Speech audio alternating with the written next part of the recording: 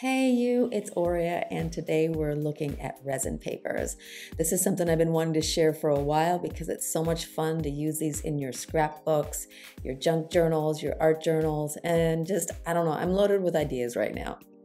And I did these Suminagashi papers, this session, uh, part five and part six. I can put those down in the comments, but it just really got me excited to think about what would happen if I put resin on these. Will they turn translucent? And of course they did. And it's just super fun. I'm really excited to share this with you. My, my mind is spinning with ideas, like I said. I'm going to throw in some of those dark dyed papers I did a way back. That'll be in there. Some collage sheets that are in my newsletter. So if you signed up for that, you might have some things in your inbox. And mostly just these Suminagashi pieces. They just really excite me, and I can't wait to like put them into an art journal or a junk journal and see where they go. If you're ready, I'm ready. We're just gonna sit back and watch me get going on this. Hopefully, not get my hands too sticky, but I'm gonna walk you through it. So let's get going. So you're to need some resin, basically. Mine in Italy, I have this Art Pro resin, but usually it comes in two parts. I've labeled mine at the top so I don't mix them up. So I'm always know I'm working with A and I always know that I'm working with B because one is kind of a base and the other one is a hardener. And you're going to have to read the instructions. Usually it's a ratio between the two and it's not necessarily 50 50. For me, it's uh, 100 parts of the A, 100 parts of the B. You're also going to need some good gloves because this stuff gets sticky and I, I've gotten it on everything before. So I'm really kind of religious about wearing my gloves.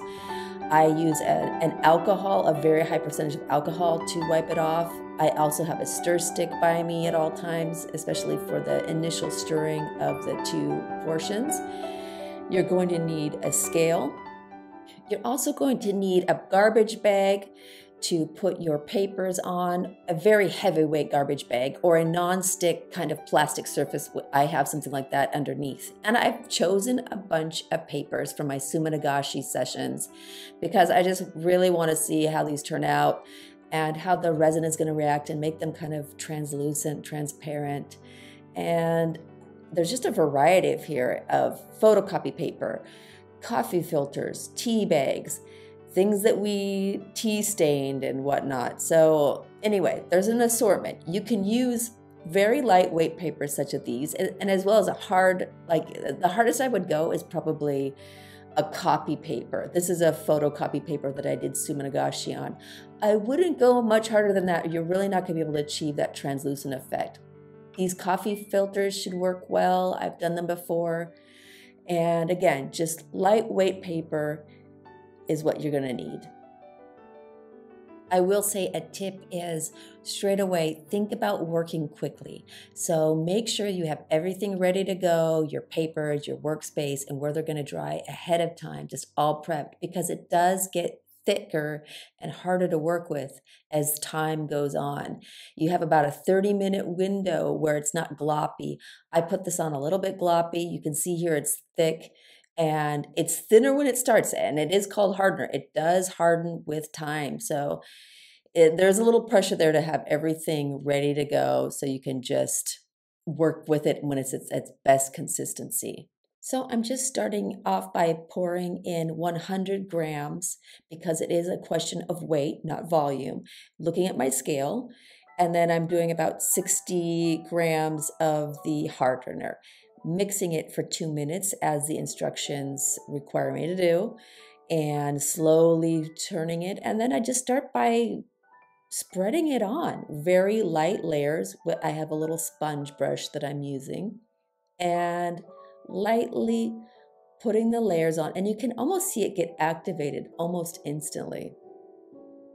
And I just take some time to turn it over making sure that it's smooth and evenly spread because as you saw in those earlier examples, it can get a little goopy if you're not careful.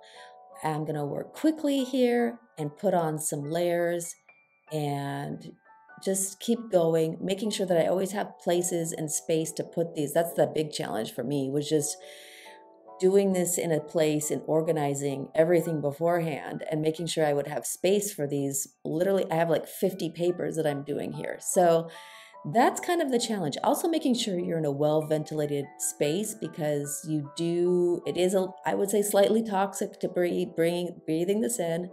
And you're going to be a little, need to be a little careful of that. If you can do it outside, even better. But I'm doing it on a warm day so I can have the windows open. And that really seems to help. And so I'm just going to continue. I have some light uh, Japanese rice paper in front of me, some tissue paper, carefully pulling them up. They, they're pretty stable, they don't tear too easily. And putting them aside. This is a copy paper that I mentioned before, soaking again an old book page that was tea stained and just using a variety of papers. Some of them will have more of a translucent effect, others will be a little bit more opaque, but that's fine. The tea bags I really like because those just become just totally transparent. And it's just so fun to see like these Suminagashi prints stand out. This piece was dyed by black beans. I had a session on natural dyeing of these papers before I would Suminagashi them and they made very pretty blues. And just to see if this is going to hold up with the resin, we'll see. It usually tends to really lighten it, but it still has a little bit of that blue essence to it. And I know that I dyed it myself, and it's just kind of irregular and it creates a really pretty quality.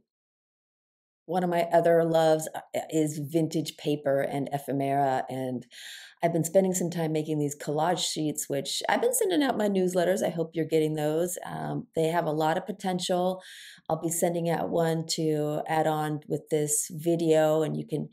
I just think they'd be fun to cut up and put into an art journal or a junk journal some of them have more neutral tones and others are going to be brighter and have more pop but they're all just taken from old magazines that i have. A few images that i found online that are copyright free so we don't have to worry about that but mostly images i've found in old magazines and i don't know just they have a lot of potential to add that extra kind of pop to your project and I just want to see how they're going to look. So this is kind of exciting to me to see like are they going to be super translucent? Are they going to be transparent? Where they what kind of quality are they going to have?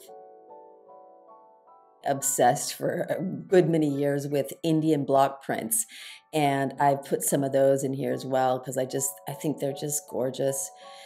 So we'll see. We'll see how this turns out. We're going to just keep plugging away here and adding in more different papers. I have this vintage music paper sheets I did in another dye bath. This was an avocado dye. And I just love these warm, peachy, rusty tones you get from those pits. It's always just blows my mind that an avocado can make these colors. And I'll be sure to put that down in the description as well, where you can find this these dye bath recipes and this tutorial that I threw together.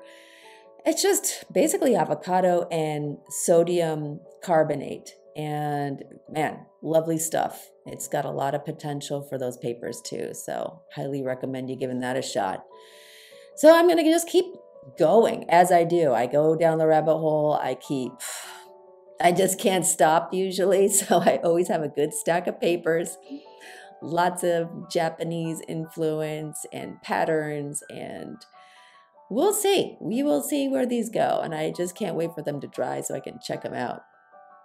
Set them aside here and let them dry for a day or two depending on your weather, the heat, the humidity. You will probably need a day or two before they are ready to peel off of the garbage bags or the non-stick surfaces you have them on.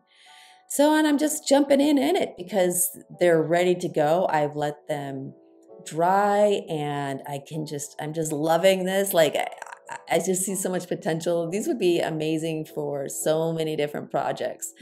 And I'm loving seeing this Suminagashi pattern come through, this transparent thing. And it's so durable now. It's got a different quality to it. The coffee filters are, have a lot of potential as well. And I'll be sharing a project with that. And I love how the colors remain. They didn't bleed, they didn't rub off, they just kind of soaked through and al- allowed me to have this kind of transparent thing happening. So cool, so exciting. So I'm going to just keep ripping these off, slowly tearing them off. I would recommend if they feel still kind of sticky to the touch, don't just let them rest for another day. I've made the mistake of trying to peel them off when they're still a bit tacky, and they will rip. They do need to be a bit hard before you completely tear them off. So I'm just going to keep going, make my stack, make my pile of resin papers, and take a look at how these came out.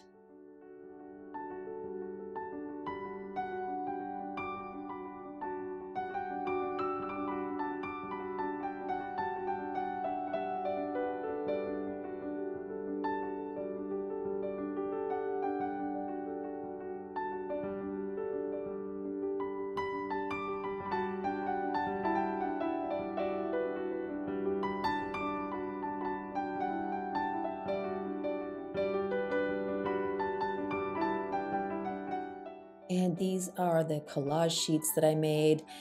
I've noticed that some of them are a bit shiny for my taste. So I am going to look at a solution for that.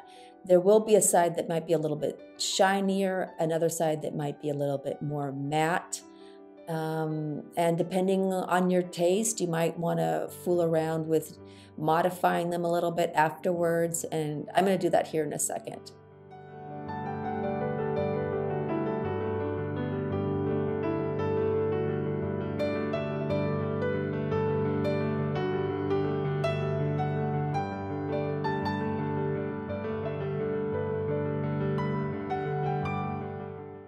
Really liking this one. It came out so transparent. It's a, it was kind of a wax paper uh, drawer liner, and this collage sheet is really nice too, with a lot of potential. These vintage prints.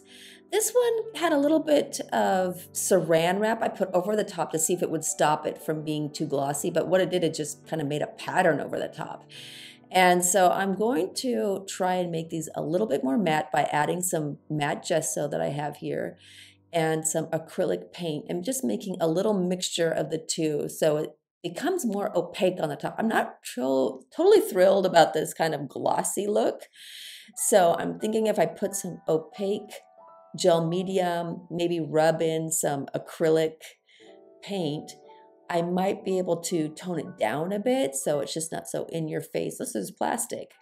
Um, and that kind of works. It's kind of using some rusty sepia tones in with the matte acrylic medium and looking at it. I like, I kind of even like the texture. I mean, I like it, and I'm at least I'm liking it a lot better than that super shiny acrylic look. So I know I'm going in the right direction here, getting these covered with this opaque matte medium. It is helping. I'm feeling it's a little bit more in line with my taste than that whole full on plastic look. So that was successful, I think, in terms of toning these down a bit. So there you go. We just went through the tutorial. It's pretty easy. You need your acrylic, uh, resin, and you need some space. And you need a lot of papers because once you get going, much like gelli printing or anything else, you really don't want to stop once you see the potential these have and you get curious just to see what what will happen to these papers. So choose quite a few before you get going on your project. That's all I got to say have to say thank you for being here and joining me and watching this session. I hope you got something out of it. If you're interested in Suminagashi, be sure to check out my other videos. Again, I'll list those down in the in the description. And I hope I see you back here next time. I'd love to see you and I'll be sharing more with you soon.